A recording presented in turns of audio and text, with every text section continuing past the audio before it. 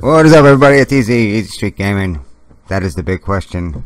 Will Red Panda Po compare to Green? We know Green's going to be an elite partner.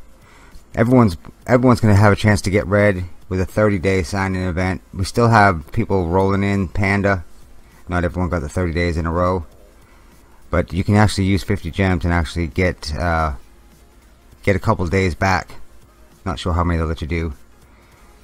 So, Red Panda, two out of the three, two out of his three skills are pretty much identical to Green. The only difference is his second skill. He, he has, I don't even know the name of it because I don't have my glasses on, but it's basically enduring healing. Plus, he gets a random buff for himself. And just just remember, whenever you get a random buff or a random debuff, those can be pretty incredible. Uh, it can be anything. So he can get the best buff in the game, which I don't know what the best buff is. It's got to be some kind of invincibility. Along with enduring healing for the whole team. So he, he's got a team heal where Green has a team attack. And if you've noticed, uh, if you were watching some of the, um, you know, I got to see Green Panda during the partner arena. I, I know a lot of people did. And if you're watching partner arena, watching Green Panda, he was pretty strong now, but the team attack wasn't really impressive. It, it's, it's nothing like the Reaper cometh from the Green Scarecrow or anything like that. But the triple attack is is where he is where his strength is. It's a one-shot kill type of attack once you get his uh, once you upgrade him and max him out, and if you have the right war patterns on him. War patterns, high hit point. Also, he's a slow partner. Even with high speed, he's still not really um, exchanging blows one for one. So there's a few things that I think you're going to have to do in order to get him up to par as far as speed goes. One is you're going to have to have speed in the left hand. Uh, a lot of you are going to probably want to simplify by just using cat war pattern. Uh, I know that you can get speed up pretty high without cat if you get uh, speed in the second as, as a second attribute on all the war patterns.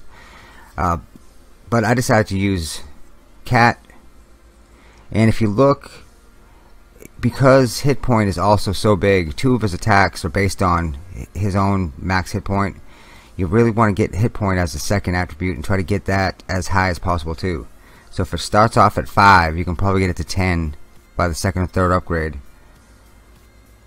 A lot of different possibilities though. You can use cat and hippo, you can use cat and whale, you can use hippo all 6, you can use hippo and whale, you can use whale and whale. And really speed is just something that I think he needs because he can't keep up with most of the other partners. But hit point is definitely the the main focus. And I believe you you really want him to to, to get off critical attacks especially during the triple attack. So you're gonna have to try to get critical rate and critical rate damage as well. Now what, what time will tell how important critical rate and critical rate damage will be Hopefully I'm not dead wrong on everything. now, this is the elite ranked matches. And what I've done is I put in Panda on the on some of the opening rounds. So, you know, sometimes you match up with players that have that have already quit and they're very low ranking uh, partners. But I wanted to get a have everyone take a look at Panda long before he's maxed out I believe he's at level 30 or something. So he's not even maxed for the first uh, for a five star. Never mind a six star. And now I didn't take out all my other partners, so you, so just Panda's in there. So he's not going to even get many shots in. I, I know. Now that was the bamboo shot, the bamboo throw. Remember, the bamboo throw is pretty effective for Panda himself. He'll not only damage the other team, it's a, it's a one versus one attack, but he also heals himself quite a bit. So he's healing himself on that attack. He his second skill is a is a heal for the whole team, enduring healing, plus a buff for himself. Now we have Panda vs Panda. I find a couple guys in my server, so I, I always like to spar against the guys in my server if I can. It's always a respectful thing. I would always suggest doing the same because, uh, especially if they're good players, you take the loss if they're way better than you because then you can see what they're doing then you can talk to them about how what they did to their partners. They may be able to give you some pointers. Remember, this game is not a solo event all the time. if you're in a clan with people that care, then you, you talk to them. They'll help you with all this stuff. I know that in my clan, I'm not the best player. Uh, I have players that started after me that may have been inspired by what I what I do on YouTube and have already surpassed my skill level. So it's amazing what people can do. It really is. In ranked matches, use Panda Po, red, pressure green teams. He's he's pretty strong against green. You want to try to get the triple shot, the triple attack to a one-shot capability. You can get him to one-shot capability. I've seen it in the partner arena. And also, and this is going to be a really important factor, use other partners that have that can speed up the action bar and that will help Panda Post speed up the action bar. Now you see right there he did the triple attack, didn't even come close to taking out the, the Green Demon Killer. But that will change as he gets goes up in level. I think already now, after, after since I've made the video, I've, I've played with him quite a bit, and I think already now he can probably almost do twice that damage. So he, his damage gets pretty big pretty fast. I think right now his bonus hit points is at 12,000 I think he can go all the way. I, I think he's gonna gonna be kind of like one of the nomads where he can get up to like 20,000 bonus hit points. Not quite sure yet. But you notice every time he throws the bamboo, he's also healing himself. So a pretty effective partner. I don't know if you can say he's better than Green or or or if you can say that Green is just better than him because now I, I was gonna look at that and see what it was. He got the thumbs up. I, I believe that I just don't even know what that is. don't even try to.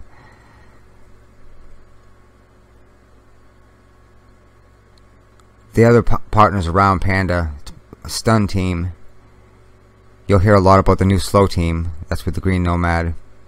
And Panda Po may fit in very, very well with the Slow Team. Also, Leader Skill his leader skill is a unique one. We've never seen this before in Brutal Age. It it, it gives 100% plus 100% attack in adventure stages. And you know that might just be a commodity that may not interest anyone, but there's actually a pretty good use for it, and we'll get into that in a few minutes. Okay. For now, substats. This is something that I've talked about in, in past videos. We'll touch up on it again because Panda Po has a it's really important to, to hit all the substats. And um, I'll, I'll key into a conversation that I had uh, yesterday with uh, Andy, someone from the clan. He was talking about something he does that is exactly what I do. He actually upgrades all of his war patterns to level 12, all the way to all the way to purple. And at level 12, he will make a decision on whether or not he'll keep it or not. It may sound a little uh, excessive, but at level 12 you'll see all of the attributes on the war pattern and you'll know if it's if it's really good or not. Uh, you may think it's good at first it starts off with attack percentage and you get uh, hit point percentage and then the next one is plus defense the next one after that is plus attack and they're both kind of small numbers then the last one is uh, you know uh, plus hit and it's just nothing you need. You get it to level 12 it's a strong war pattern to a certain extent, but it's nothing that you really need for that particular partner. We have a lot of partners that have to have very um, specific substats. Find out what they are on all of your partners and make sure you have them in your war patterns. Even if you have to dump the war pattern at level 12, it's worth doing that. It's better to do that than to upgrade it to level 15 because at 15 all you're doing is increasing the first stat a lot so you're not going to improve any of the other stats, so you're not going to get it any better as far as the substats. So look at the substats, pay close attention to them. I'm trying to sell all war patterns that don't have three stats on them to begin with. And again, it may sound excessive. And look at Panda, plus 100% attack, he takes out the kitty.